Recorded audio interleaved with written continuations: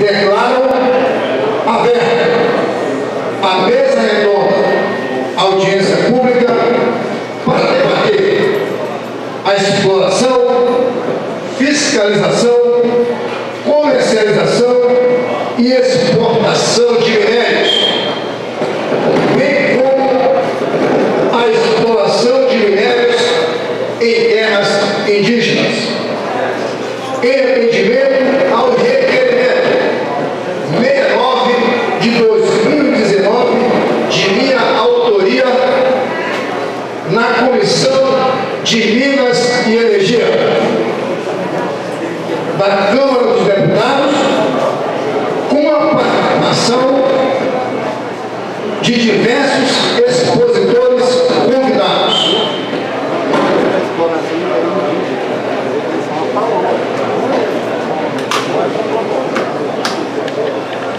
Quero informar a todos os presentes que nós vamos realizar a audiência pública, iniciando primeiro com o rito de abertura.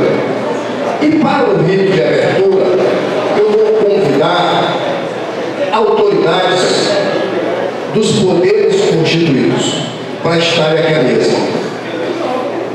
Em seguida, desfaz a mesa e eu vou passo a convidar os, as autoridades técnicas que sentarão aqui. Aí a partir daí só estarão à mesa as autoridades técnicas, que é o fim desta audiência pública.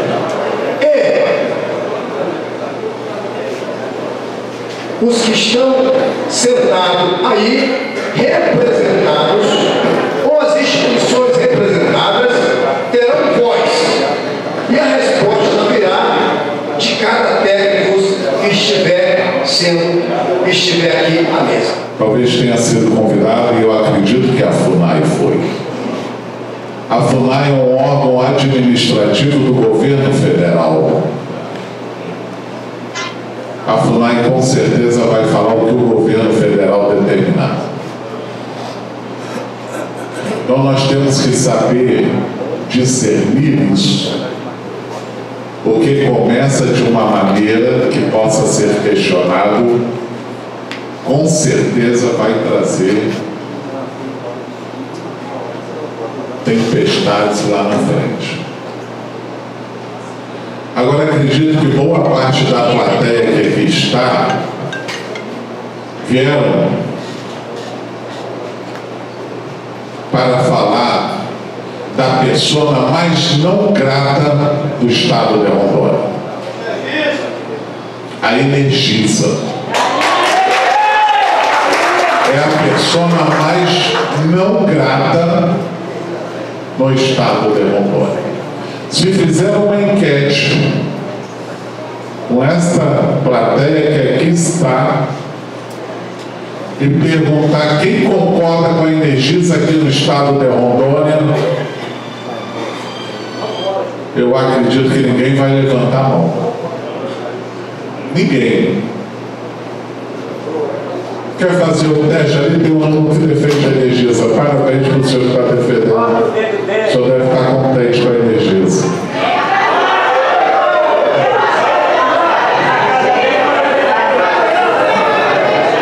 Eu respeito, eu respeito opiniões. Respeito opiniões. Agora, se eu perguntar quem quer que a Energisa saia de Rondônia,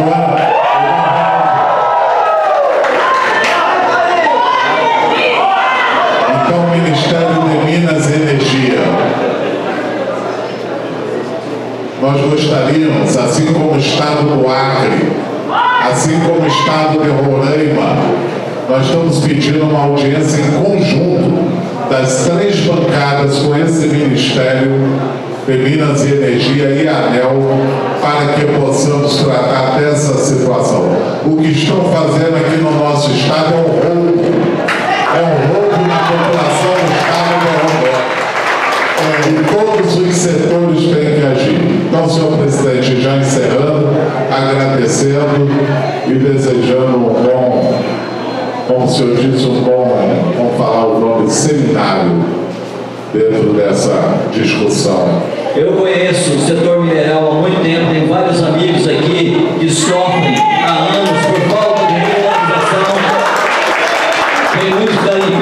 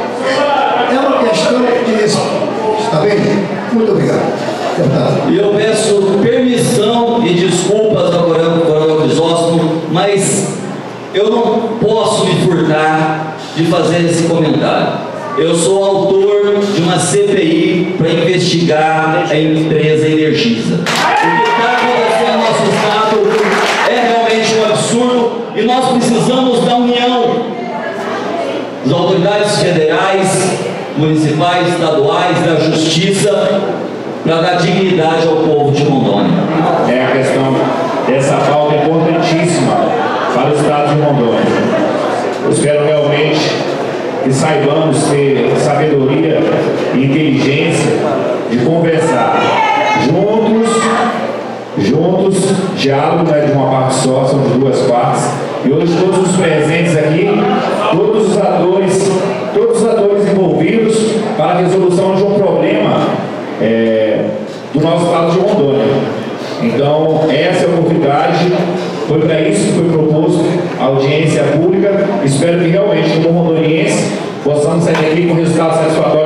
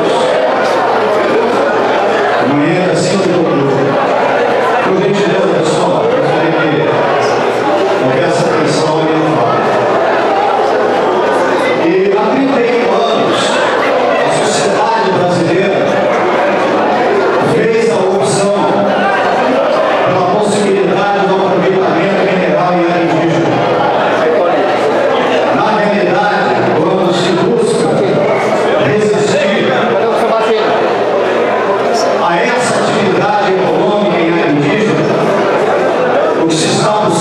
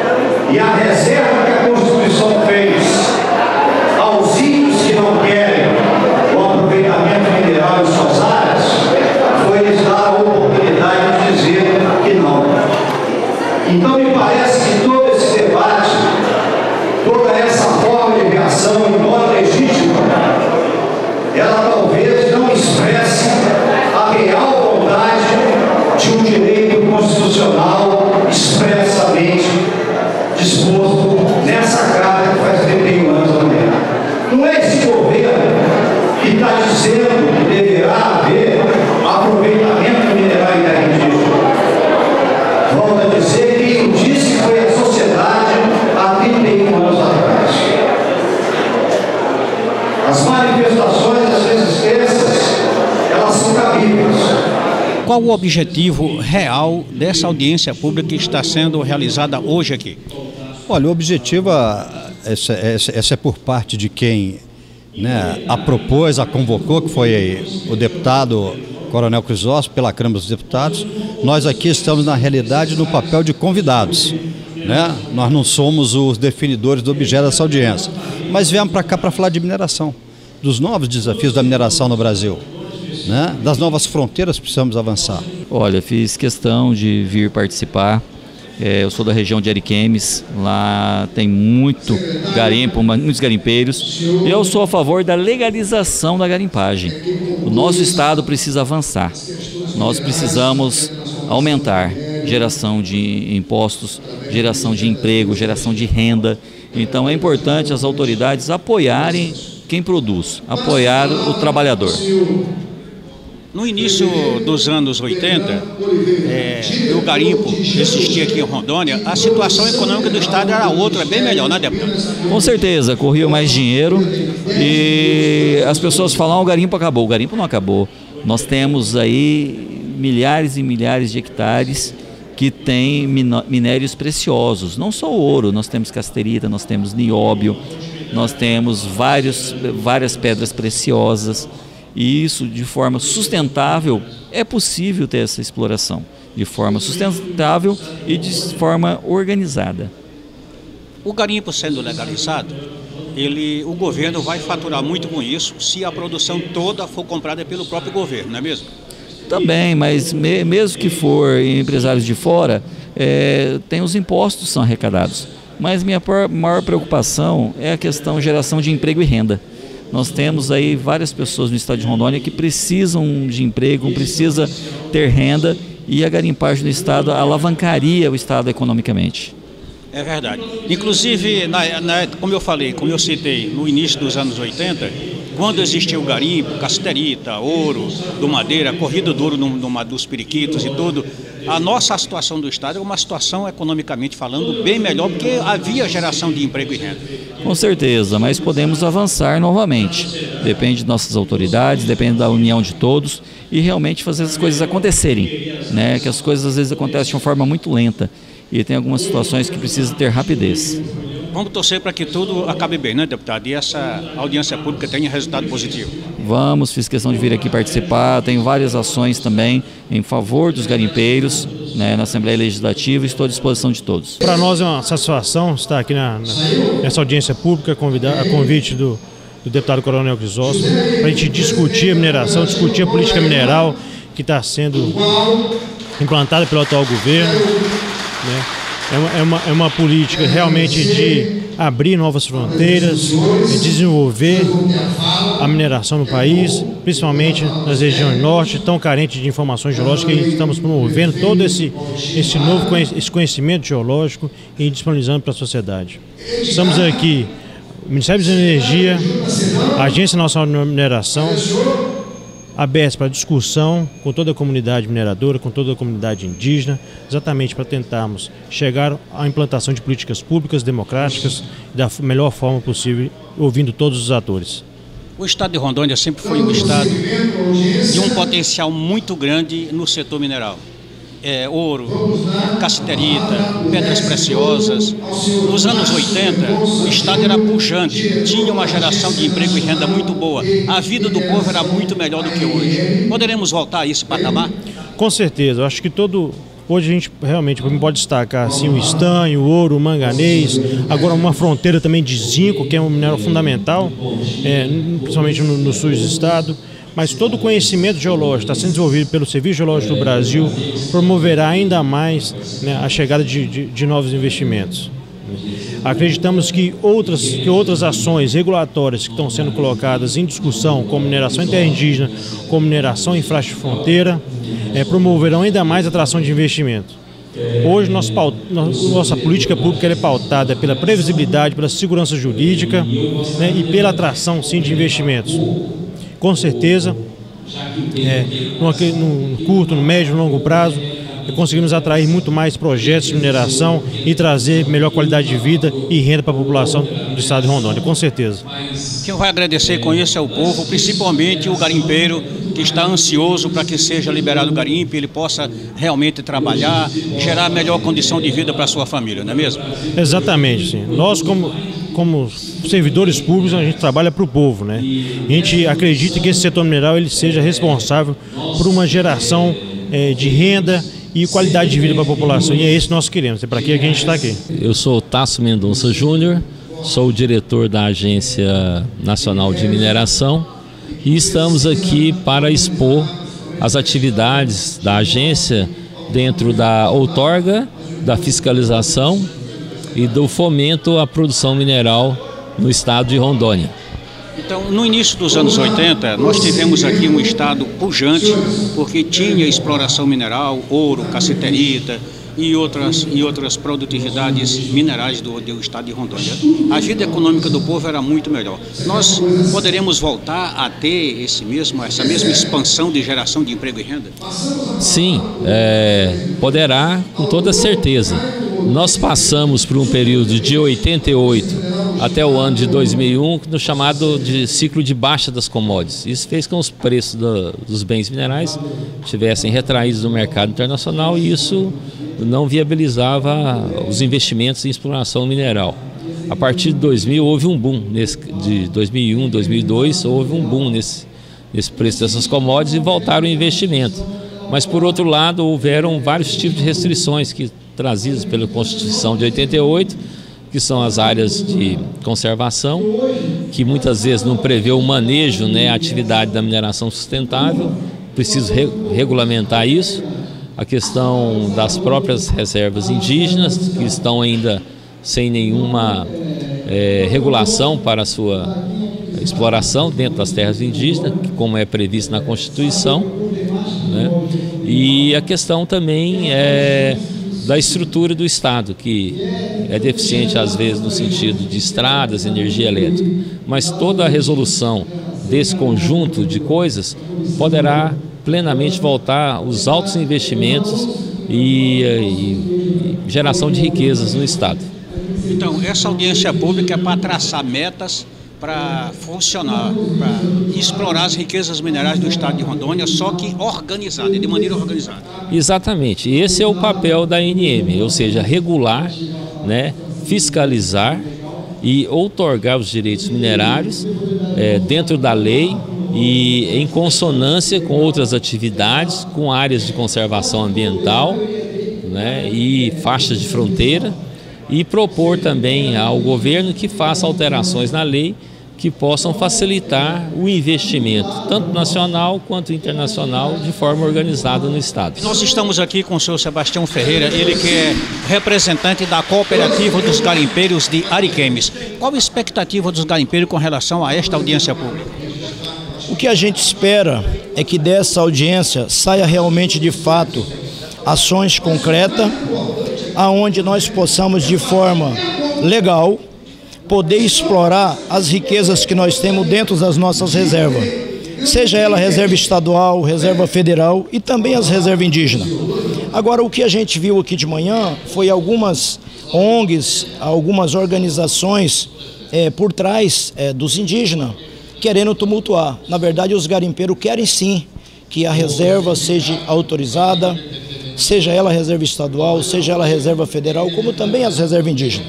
Então está de parabéns o Coronel Crisóstomo de propor essa audiência pública para que a gente é, debata esse tema. Nós temos um potencial muito grande em riquezas mineral aqui no estado de Rondônia. E nós temos vários garimpos que as mineração antigamente explorava e hoje deixaram de explorar. Então, essa, essa atividade de garimpo, ela está hoje num, num, momento de risco, por que não dizer quase que falida, porque não existe áreas para trabalhar.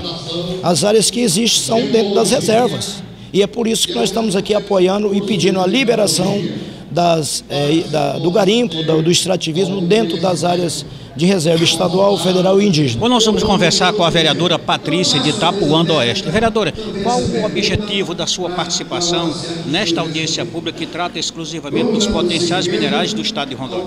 Bom, a minha participação hoje no, no município, na audiência pública, é melhorar a capacidade de exploração do município e que o dinheiro fique no nosso município, porque hoje ele é levado para outros municípios, nós somos um município extremamente rico e ao mesmo tempo extremamente pobre, com uma arrecadação baixíssima e nossa população não pode ficar mercê as mazelas ficar só com os rejeitos.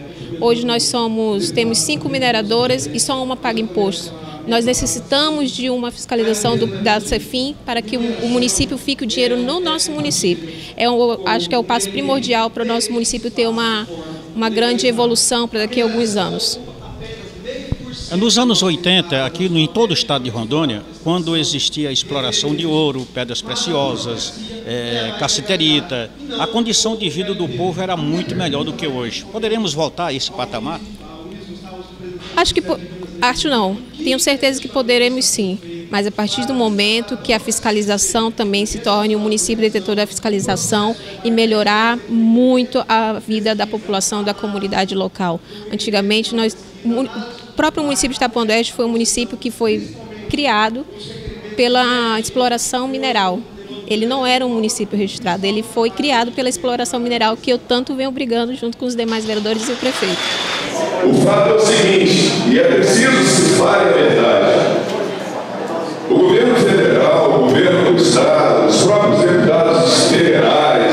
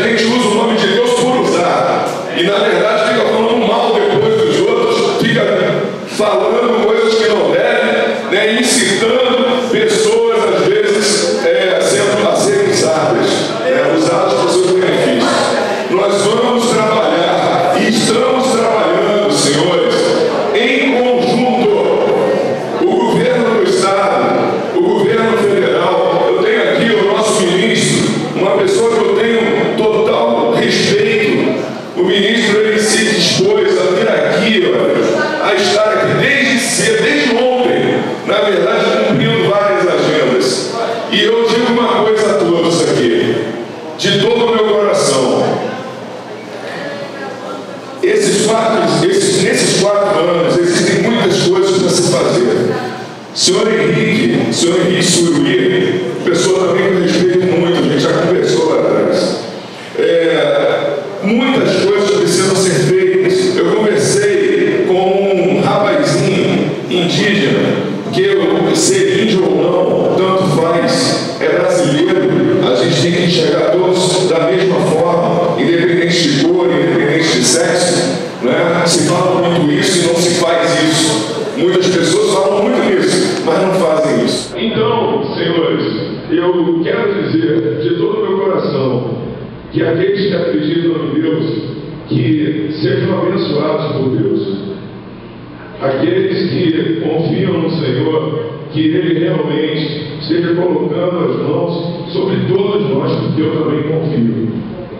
Aqueles que não vale a pena a gente jogar maldições e palavras de, de briga, porque é que recebe, como disse aqui o senhor Henrique Suri.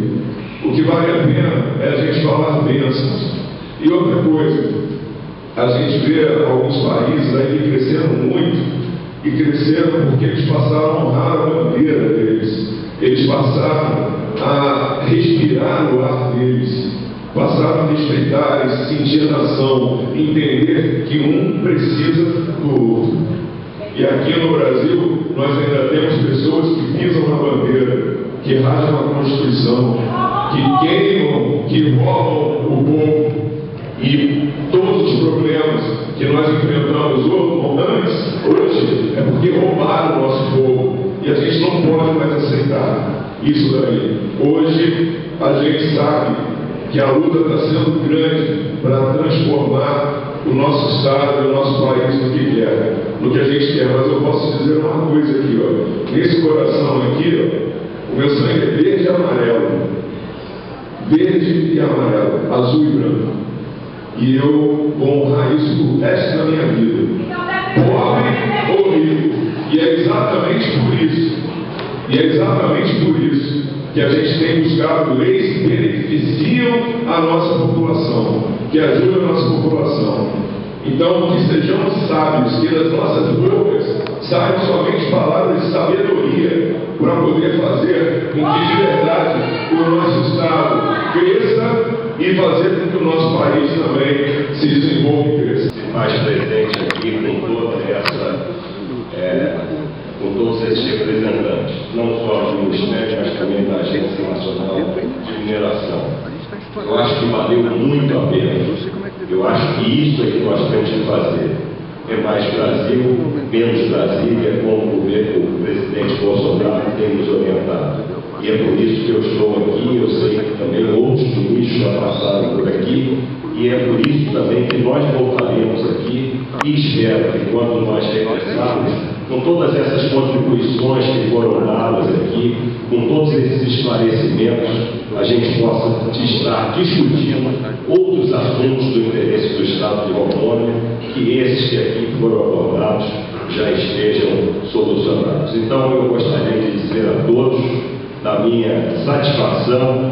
Eu saio daqui, já mencionei isso hoje, dentro das agendas que eu tive, ontem também, mas orgulhoso como brasileiro de termos uma sociedade e estados como esse, primeiro por aquilo que já realizaram e muito mais por aquilo, aquilo que tem por realizar.